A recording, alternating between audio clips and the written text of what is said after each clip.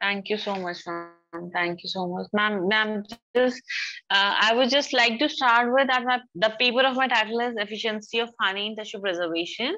This work has been done under the supervision of Dr. Naresh Kumar, who's a senior scientific officer at FSL Delhi, and uh, my guide, who's the uh, who's assistant professor at uh, G, uh, GD Goenka University, Dr. Niharika Srivastav. So I, I would just like to move to the other slide. Thank you so much, ma'am. So here, as you can see the abstract, that the tissue preservation is of very importance from the forensic science point of view because it enables a scientist to extract enable quantity of DNA from a sample which has been preserved. So now we need a, a, a, tissue which has been preserved well so that we can get a good quantity of DNA out of them. So for that reason, we we actually look for a, a you know preservative from which we can get a good DNA extraction so that we can get a good DNA profiling. Simple as that. So what that is, this reason actually formalin has been considered considered as one of the best preservative.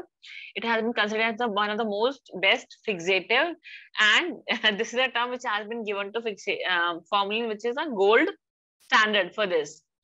So our work here present that we have given a good yield of DNA from tissues which are preserved in honey.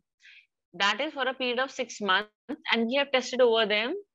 And for this, of course, we have got our ethical permission from Civil Hospital Gurgaon. They have a committee for this assay. And uh, we have taken this permission and we just took a permission from take uh, so, that we can get some tissues from uh, human tissues of uh, heart, lung, liver, kidney, and brain. There are five tissues which we have taken for this study. And for that, we have taken some DNA quantification using the PowerQuant system of Promega. So accordingly, we have uh, got, uh, we have like uh, gotten some result. So for that, we have really got some help from the Civil Hospital Gurgaon, for which we are very thankful from the very heart that they have given the permission to get the tissue samples from them, which had been very hard for our study. So thank you so much for this. Can we please move on to the next slide? So this is a need for research. So as we can see, the proper preservation of tissue is of utmost importance for the qualitative and the quantitative analysis of the result. So as we can see that it is very important if we want to get a quantitative or the qualitative analysis of the DNA for a proper tissue, we are already aware that the forensic DNA analysis in disaster victim identification, in the DVI, what uh, is generally known as disaster victim identification, is basically an act in which tissues are sampled during the act of DVI operations, in which we really require for tissues which are sampled and and we are not able to get the proper tissue fit and we can preserve them over the refrigeration or whatsoever is, a, is preferable for us at that moment. So refrigeration cannot be possible at every time. So at that time, we do need for a preservation in which we can just preserve the sample for that much needed time. Of course, feasible refrigeration is a much needed process, but there are chances when we are not able to get that. So at that time, so uh, we do need such a preservation where we can preserve the tissue and we can take them to the lab. So of course, then we can come to sexual assault cases. So of course, sexual assault cases, well-preserved tissue samples, they enable the forensic scientists to extract samples which have sufficient quantity of DNA so that paternity testing and DNA can be qualified from there them, profiling can be done thereof. It concluded that the paternity of the child, the convict so that we can convict the accused based on the scientific evidences only. Then, of course, paternity testing, that is of no doubt. If it is there, we can clearly conclude that. So, can you please come to the next slide? Review of literature. Thank you so much, ma'am. We can see the common literature which are used in the preservatives. One of the most common is the formula, formula which is used in the saturated solution of 39 to 40% of formaldehyde. And formaldehyde is the colorless and odorless gas, uh, sorry, colorless and chemical gas which has an pungent smell. So that is very recognizable to anybody who's using among it. That is the reason we, we really avoid it. then it has a very low price. It is antiseptic sterilization properties. It has a very good application effect also. And it is highly toxic by the systematic poison. And of course, it is very well observed by the inhalation. So that is the reason that we really want to avoid it because it causes some symptoms like is diarrhea, vomiting, and some intoxication, and it is also a carcinogenic. So that is the reason that we really want to avoid this very most commonly used formalin. So we are here to go, get the alternative for this formalin only. So please, let's just come to the non-formaldehyde solution. So as we can see here, non-formaldehyde solutions are those which are basically a blend of acid, they have buffer and they have cross-linking agent. For example, 15% of cross-linking agents, 85% of acidic buffers and which lies in between 3 to 6% of THPs, which are tetras, hydroxymethyl phosphide sulfate, and they can have a solution of bufferic acid also. So these non-formaldehyde solutions are basically non-low volatile, or we can say they have low volatile and they have same preservation effect as a formaldehyde. So of course, when you have a alternative formaldehyde, so we'll opt for non-formaldehyde solution. Then as you can see in the second, which is the ethanol. So ethanols are of course easy to use preservatives and they are 70% when they are, uh, they are effective as biocides. Now I have seen many research which suggests that there are many ethanol which suggests that ethanol can be used in different preservations. Accordingly, there are uh, different concentrations of ethanol. So 90 to 95% of ethanol have been used as a very effective EDT also. Now we can come to phenoxyethanol. So phenoxyethanol is basically treated when phenol is treated with ethanol in the presence of cosmetics. So that is all when it is used for the use of preservation.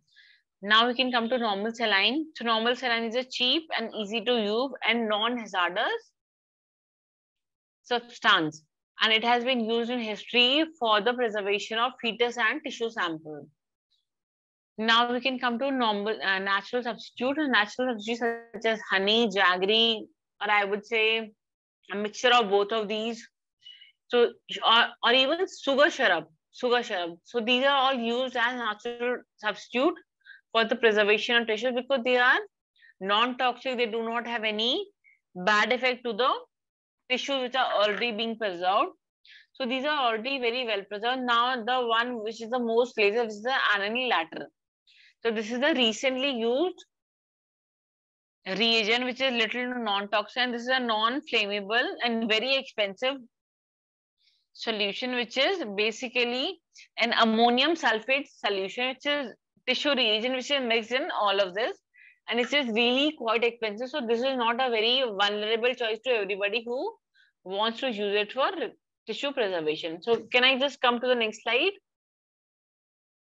So here is a methodology what we have adopted. We have uh, got the permission from the Civil Hospital of Gurgaon for conducting this research and the legal representative who are given the permission to obtain the tissues from this research.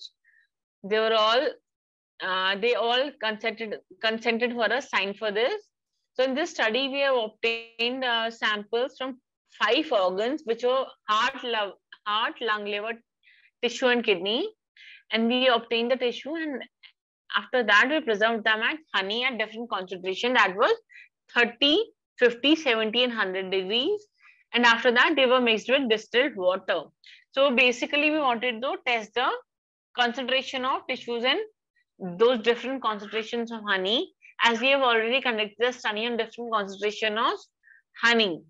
So uh, in this process the dna was isolated using the method which was organic extraction. It's the very basic method for extraction of DNA, which was the phenol chloroform and acetyl uh, acyl amyl alcohol concentration. Then after that, the quantification for this, it was DNA Promega quantification kit. Can you please move on to the next slide?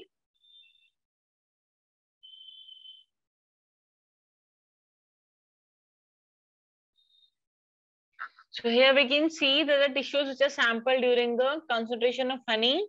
In figure 2, we can see the tissues which were completely dies during the process of organic extra extraction. This was all conducted in the FSL Delhi. Then figure three, you can see that it shows the samples undergoing mixing in the rotator. Could we please move on to the next slide? So this is a Promega PowerQuant kit which was used in the quantification of the kit. In figure 5, we can see the RT-PCR plate which are filled with wells after the isolation of the tissues which are required. In the next sheet, we can see the result and discussion. So the result revealed that the tissues preserved in formalin at 4 degree for 60 days. They revealed how formalin at 4 degree for 60 days were able were not able to generate the complete profile because of the binding and the or the inhibition we are not actually aware of the consequences but we do mention them that it has been seen that the dna on the profiling from the formalin has been unsuccessful because of the tissue. The tissue is not preferred over the 60 days on the other hand the tissue sample is over the 60 days on 40 samples showed good even yield. So more the samples were kept over the honey for long period and they yielded good result. Whereas the tissues which were kept which were kept over low concentrations of honey, they didn't yielded good result. So that is what we got over this result. And there were less best base pairs who were compared over that time period. So accordingly, we would yield that 80 or 70 or the 50% of the honey samples yielded sufficient quantity of DNA, which has been represented by almost all genetic markers of different sizes, although the yield decrease with the decrease in the yield, uh, the concentration of the yield of honey. So that is all I want to conclude with this result. That with the decrease of the honey, we yielded that the profiling or the quantification of the DNA decrease. That is all about the result that I could conclude from this specific paper. And as you can see the in the conclusion that the considering the carcinogen meets the formalin because it is a carcinogen to both the human and the animal and efficiency to generate profile. There is a need to find an efficient substitute to it. Of course, it is needed. Contrary to formalin, honey at different concentration yielded good quantity of DNA which yielded that it can be used to preserve sa tissue samples under the defined condition. Now, in defined condition, we mean at the condition that we have mentioned in this particular paper only. we do not, uh, you know, mention any other condition because this is a particular condition that we have mentioned in this paper that is 4 degree for a period of 6 months. So additionally, there's uh, honey is an easy to use, of course. It is an easy to use preservative. It's very easily available, of course it is natural and readily available alternative formalin. So it can be safely considered to be used in the laboratory for the earlier users. So thank you so much for this. And here are the further references that I would like to mention. Thank you so much for this presentation, ma'am. That is all. Thank you so much. Thank you.